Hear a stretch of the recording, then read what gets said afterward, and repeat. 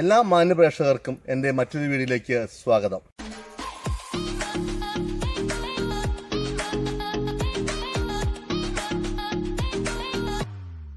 ഇന്ന് നമ്മൾ ഉണ്ടാക്കാൻ പോകുന്നത് ഒരു സാമ്പാറാണ് നമ്മൾ.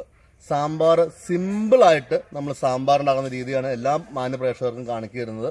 അപ്പോൾ നമ്മുടെ ചാനൽ ഇതുവരെയും സബ്സ്ക്രൈബ് ചെയ്യാത്തവർ സബ്സ്ക്രൈബ് ചെയ്യാൻ മറക്കരുത്. അപ്പോൾ നമുക്ക് വീഡിയോയിലേക്ക് പോകാം. അപ്പോൾ നമുക്ക് ആദ്യം പരിപ്പ് വേവിക്കാം. നമ്മൾ പരിപ്പ് കുക്കറിലേക്ക് ഇടുക. നമ്മൾ ഒരു അരമണിക്കൂർ പരിപ്പ് നമ്മൾ സാമ്പാർ പരിപ്പ് മേടിക്കാൻ കിട്ടും. അപ്പോൾ അത് മേടിച്ചിട്ട് നമ്മൾ വെള്ളത്തിൽ അരമണിക്കൂർ ഇട്ടതിന് ശേഷം നമ്മൾ കുക്കറിൽ പരിപ്പിട്ടിട്ടുണ്ട്. പരിപ്പിട്ടതിന് ശേഷം നമ്മൾ അല്പം ഉപ്പ് ചേർത്ത് കൊടുക്കുക പരിപ്പിനുള്ള. ആ ഉപ്പ് ചേർത്തതിന് ശേഷം നമുക്ക്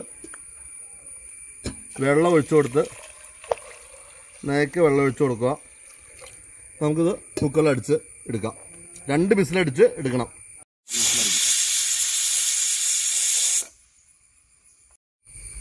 നമ്മൾ സാമ്പാറിനുള്ള കഷ്ണങ്ങളെല്ലാം എടുത്തു വെച്ചിട്ടുണ്ട്.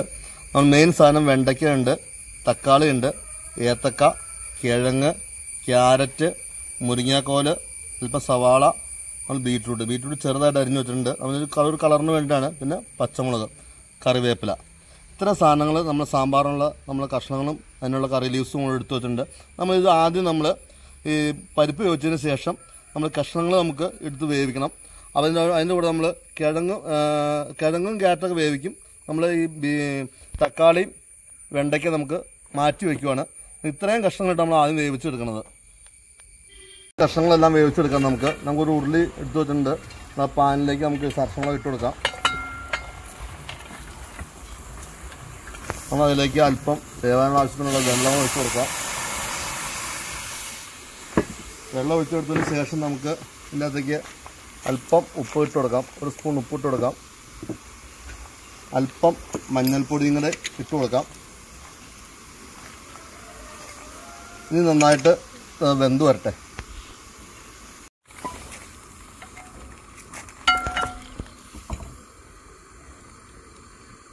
അപ്പോൾ നമ്മുടെ വെജിറ്റബിൾസ് കഷ്ണങ്ങൾ വെന്തോന്ന് നോക്കാം നമുക്ക്.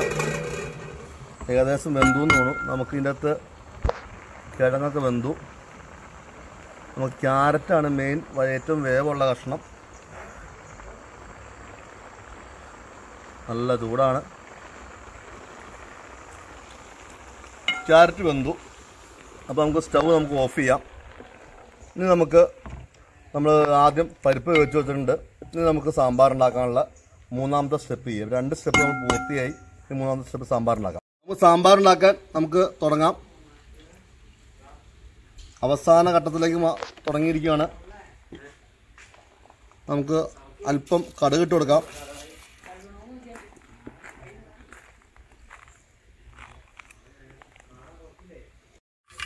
കടുക് പൊട്ടി തുടങ്ങി നമുക്ക് അല്പം ഉലുവിന്റെ ഇട്ട് കൊടുക്കാം. അതിനുശേഷം നമുക്ക് നമ്മളിവിടെ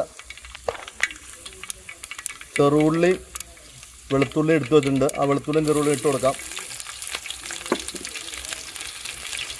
അതൊന്ന് മൂത്ത് കഴിയുമ്പോൾ നമ്മളിവിടെ വെണ്ടയ്ക്ക് തക്കാളി എടുത്ത് വെച്ചിട്ടുണ്ട്. അതിട്ടൊന്ന് മൂപ്പിക്കണം.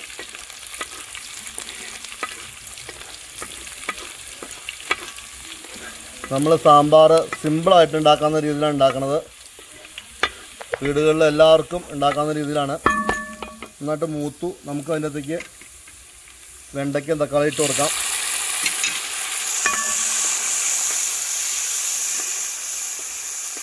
നമ്മളിതിന്റെ അകത്തേക്ക് രണ്ട് പച്ചമുളക് ഇട്ട് കൊടുക്കുക.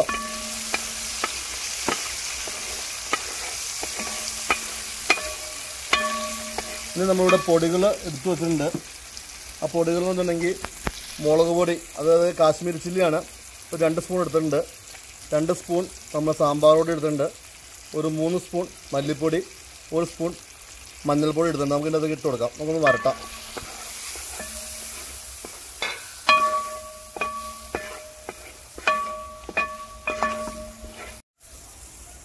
നമ്മൾ അല്പം എണ്ണ കുറവുണ്ട്. നമ്മൾ അല്പം എണ്ണ ഒഴിച്ചു കൊടുത്തു.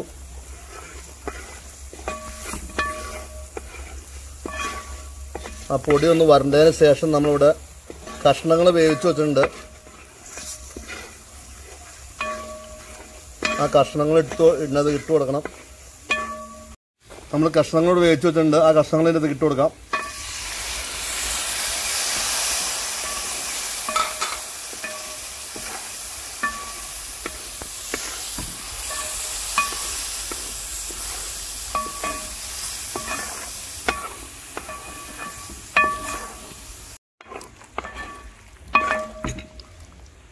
കഷ്ണങ്ങളിട്ടൊന്ന് നമ്മൾ ഇളക്കി യോജിപ്പിച്ചു. അതിനുശേഷം നമ്മൾ പരിപ്പ് വേവിച്ച് വെച്ചിട്ടുണ്ടായിരുന്നു. ആ പരിപ്പുകൾ ഇതിനകത്ത് ഇട്ട് കൊടുക്കണം.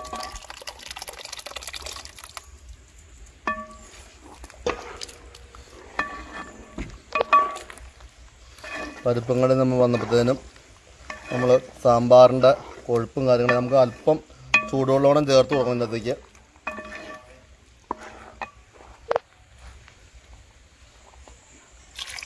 നമ്മൾ ഈ പരിപ്പ് വേവിച്ച് വെച്ച കഷ്ണത്തിലേക്ക് പാത്രത്തിലേക്ക് ഒഴിച്ച് കലക്കി അങ്ങ് ഒഴിച്ചാൽ മതി.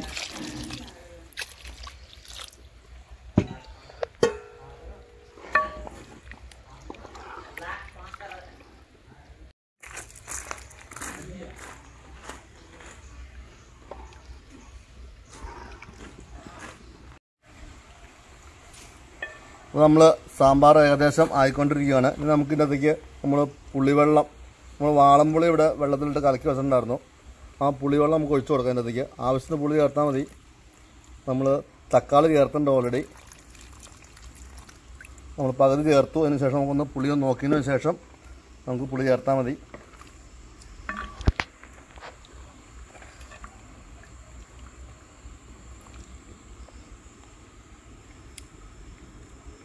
പുളി കുറവാണ്. നമുക്കിവിടെ ചേർത്ത് പുളി നിങ്ങൾ ഇട്ട് കൊടുക്കുക ഇനി നമുക്കൊരു സാധനം കൂടി അതിനകത്ത് ചേർക്കാനുണ്ട്. നമ്മൾ കായംപൊടി ചേർത്തില്ലായിരുന്നു. സാമ്പാറിന് കായംപൊടി മസ്റ്റാണ്. നമ്മൾ കായംപൊടികളും ചേർത്ത് കൊടുക്കുന്നു. രണ്ട് സ്പൂൺ കായംപൊടിയും ചേർത്ത് കൊടുത്തു. കായം ഉണ്ടെങ്കിലാണ് സാമ്പാറിന് സെറ്റപ്പ് ആവുള്ളൂ. ചിലർ കായത്തിന് കട്ടയാണ് ഇടാറ് സാമ്പാറിനൊക്കെ. നമ്മൾ കായം പൊടിയാണ് ചേർത്തേക്കണത്. വേപ്പിലങ്ങൾ രണ്ടേ ഇതിൽ വേപ്പില ഇട്ട് കൊടുക്കാം. ഇനി നമുക്ക് ഇതിന്റെ ടേസ്റ്റ് ഒന്ന് നോക്കാം. ഉപ്പൊക്കെ കാര്യങ്ങളൊക്കെ എങ്ങനെയാണെന്ന് നോക്കണം നമുക്ക്. കായംപൊടിയൊക്കെ അല്പം കായംപൊടികളും കുറവുണ്ട്.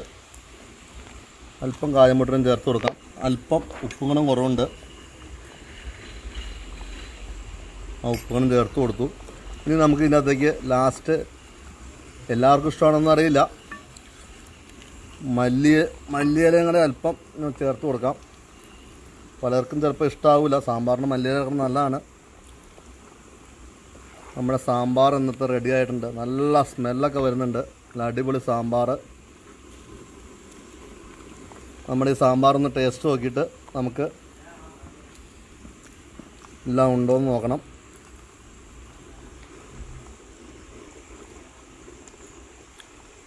എല്ലാ സാധനങ്ങളും ഉണ്ട്. എല്ലാം ചേരുവയുണ്ട് ചേർന്നിട്ടുണ്ട്. നമ്മുടെ സാമ്പാർ സൂപ്പറായിട്ടുണ്ട് അപ്പോൾ നിങ്ങൾ സിമ്പിളായിട്ട് ഇതുപോലെ വീടുകളിൽ സാമ്പാർ ഉണ്ടാക്കി നോക്കുക. നിങ്ങൾ ഇഷ്ടപ്പെട്ട് കഴിഞ്ഞാൽ നമ്മുടെ ചാനൽ സബ്സ്ക്രൈബ് ചെയ്യുക ലൈക്ക് ചെയ്യുക ഷെയർ ചെയ്യുക. അപ്പോൾ നമ്മൾ വീണ്ടും പുതിയ വീഡിയോസുമായി വീണ്ടും വരുന്നതാണ്. അതുവരേക്കും എല്ലാവർക്കും ബ ബായ്